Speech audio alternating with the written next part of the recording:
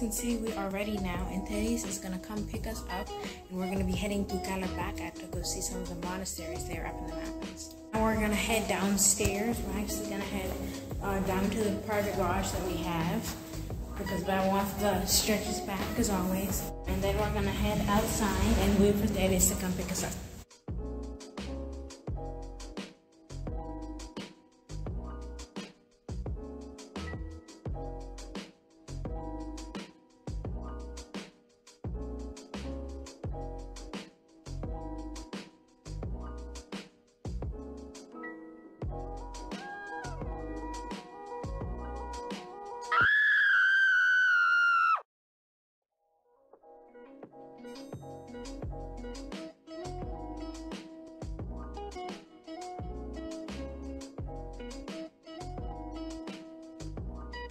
Okay, guys, we're almost up there to the Meteora. There, that's where we're heading. The monastery's on top of one of those.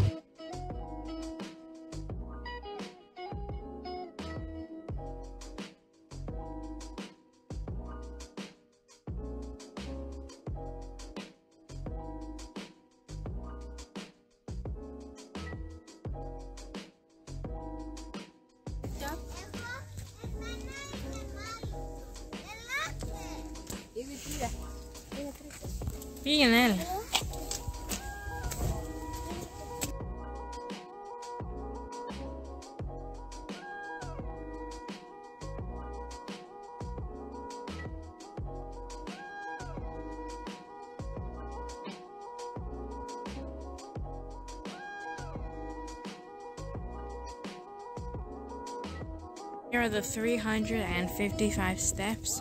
We go down from here, and then it starts from all the way down, and then you have to go up to the monastery.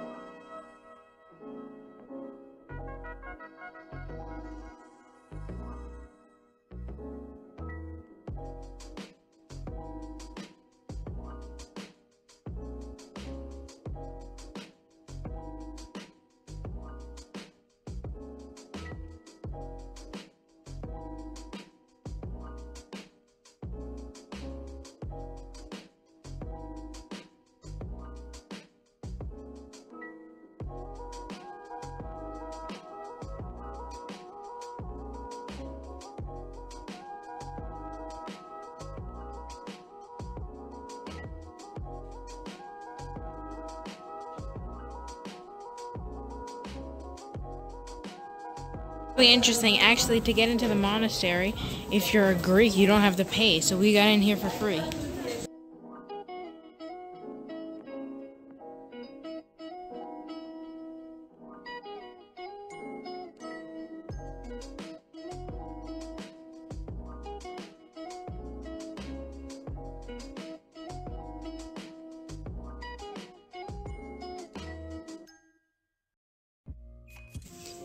Here is a glass that has wine, and on this platter they usually serve bread. Okay, so in the monastery, or in that building at least, no pictures or videos are allowed, so no photos, no videos.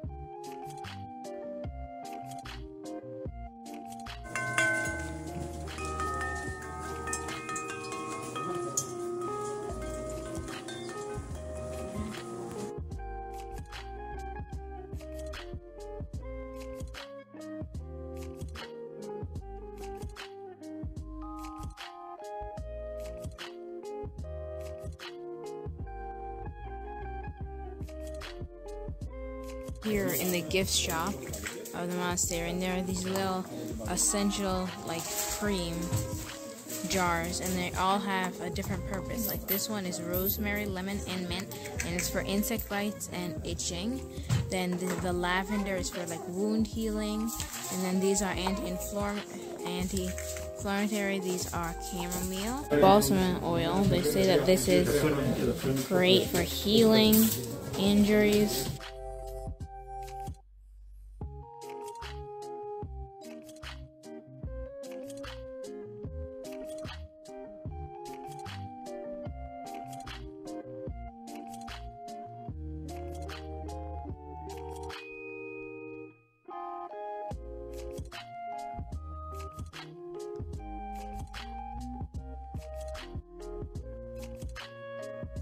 Other monastery that we're gonna go drive through right now.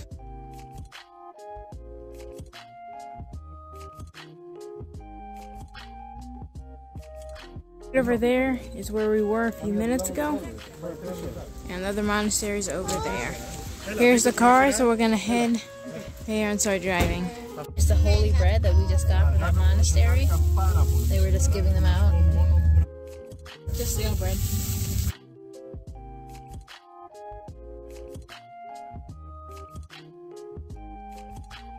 There's some more cats over here, and Christina's trying to pet them.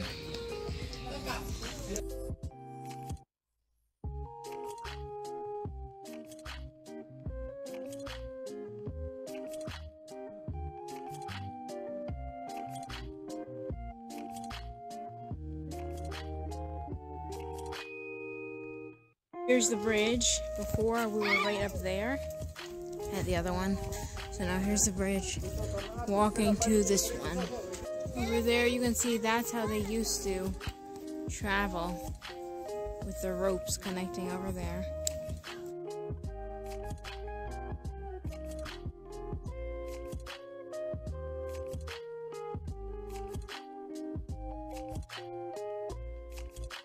Here that the fog is cleared a little bit, you can see the second, or the third, small monastery over there.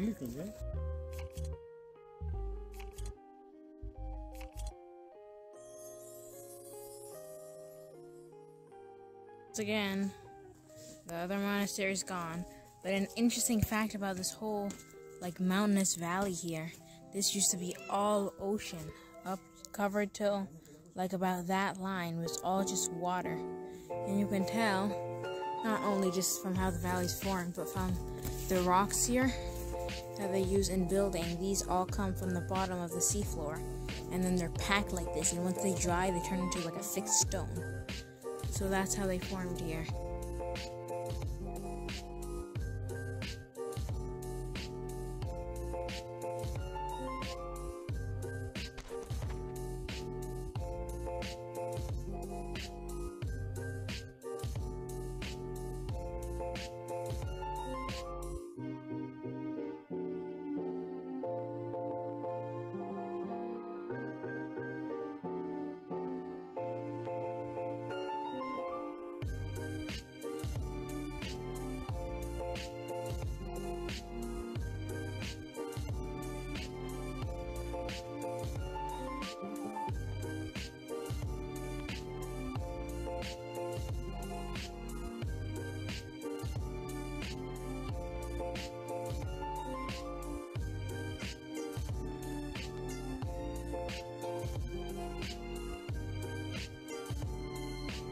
So we're walking out here from the church we found.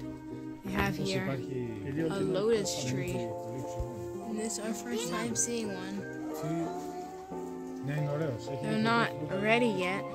Usually these turn like a bright orange once they're ready. So these aren't ripe yet at all. But it's pretty interesting because it was our first time ever seeing one.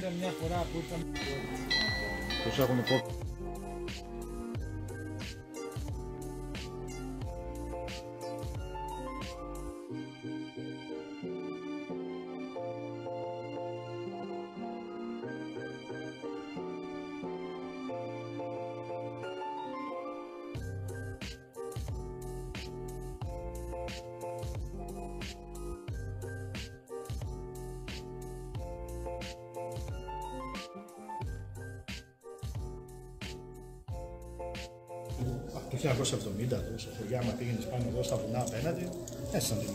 Guys, it's about to close now, so we're heading back out. And we're going to head over to the third one. It's right over there.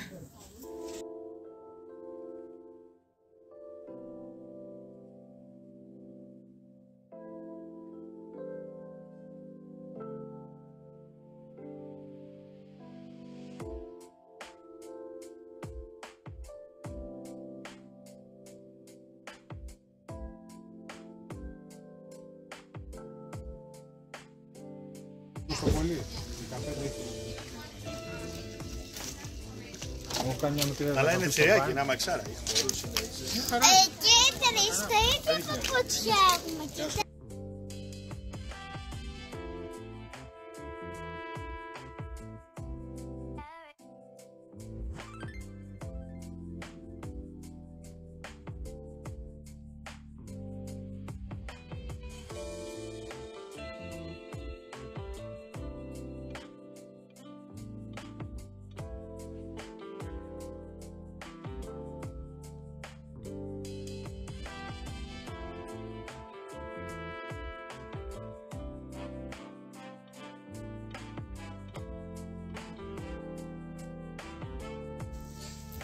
And there is Baba.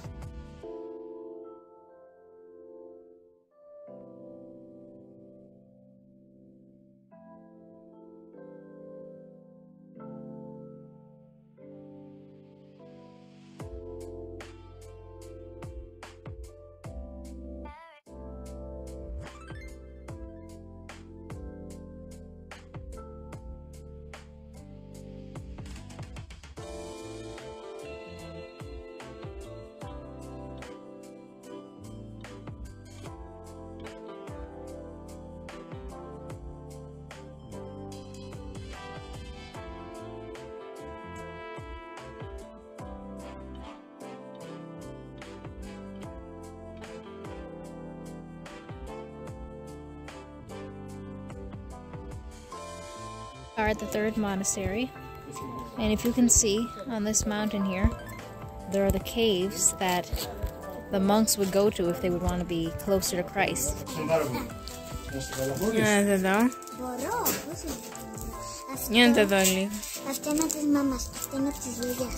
So Christina here just got these two necklaces. One is for her grandma and one is for her mother. And she went over there to go pay for it. But he actually gave them to her for free, so that was very nice of him.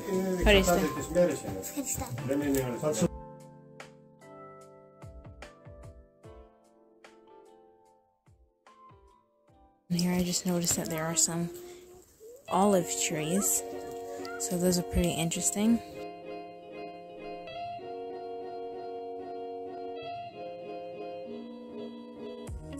We just stopped at the street side taverna we're going to ask if they have homemade meridana salata and if they have lamb or beef. For another, didn't have anything that we were looking for, so we're going to move on to the next one.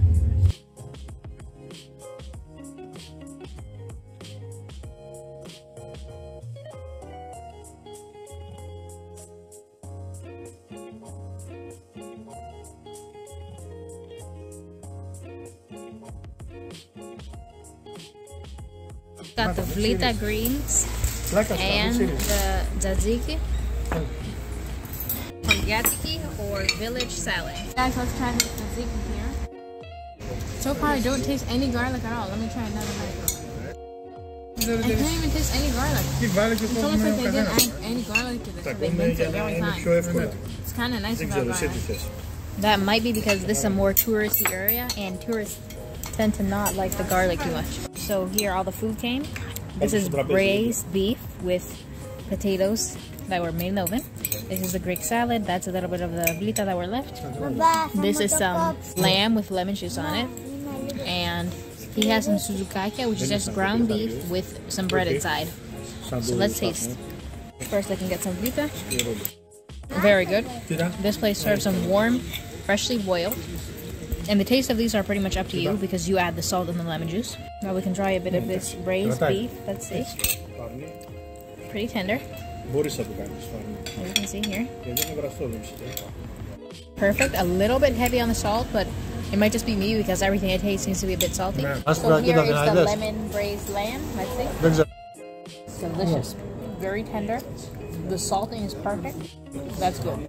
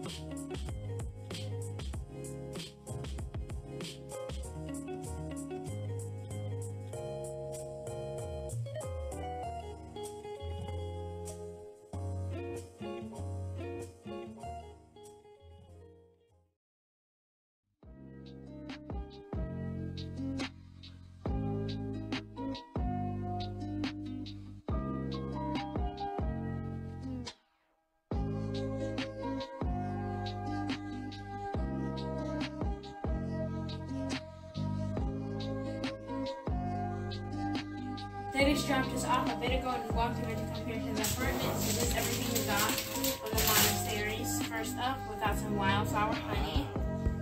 This huge container here. Then these were Daddy's Daddy's but he actually got accidentally gave it to us. So this um some you guys saw it there. This is supposed to heal your wounds and rashes and stuff like that. And then this is some just bar soap made from olives. So that's all. And then we also showed you guys these. These are the little essential oil creams or wax creams here. We got the rosemary, lemon, and mint ones because those ones smell the best. And they're also, it says here for insect bites, rashes, and itches. So we'll test that out next time to see if it works for like mosquito bites. And then on our way back, lastly here, we just got some grapes. Here. Moscato? Moscato, yeah, these are the ones Pepper loves. I've seasoned them. So I don't know why he loves them. But he loves them, so he's having some right now. And you can see his amazing expression. Epic. Now I'm making some night milk, as you guys know. I always have for bed. Now I'm going to try some of this new wildflower honey that we just got. So as you can see, there's some crystallization here. Of bubbly. Wow, it is thick. Oh, that is thick. You can see the crystals in the honey. You can see how thick and crystallized it is. Wow. It has a dark, rich color. Time for the taste test. It's almost chewy. That's so weird. It's like a chewy honey. Like the crystals make it so thick that it's almost like not even a liquid anymore. It has just like a rich, deep flavor to it. Mm. Wow. Interesting. As you can see, right now we're heading to bed. Um, today we went to the monasteries, as you guys saw. We got some great views, some great pictures, but the weather wasn't that nice. Like, it was drizzling all day, it was cold. But the thing is that I don't understand is if today had such bad weather and there were still so many people there, then on a normal, like nice sunny day, how many people are gonna be like packed into the monasteries? I don't understand. But anyways, um, right now it's 12, so pretty, pretty late as always.